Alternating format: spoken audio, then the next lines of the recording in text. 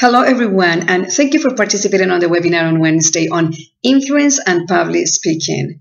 I received a lot of feedback, and I appreciate the specific, uh, the specific comments that some of you sent.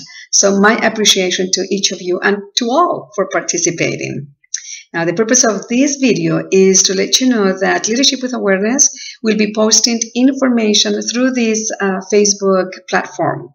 And uh, the reason we're doing that is because the purpose is to share little by little tools, techniques, methods, experiences, challenges, processes on how to move forward.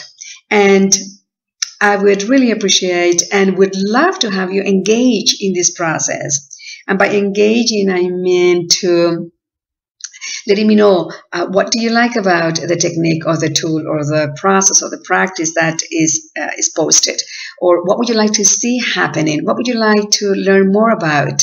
What kind of experiences would you like to share with leadership with awareness and for us to set up a moment or um, an opportunity to share with all of us you send me a message you send me a comment and i will be glad to post it perhaps we could have a google hangout uh, an interview, whatever you like, but to make this a community where all of us are sharing from our experience, from what we know, from our challenges, and how to move forward to really live that life in our personal and career or business that we are envisioning day by day.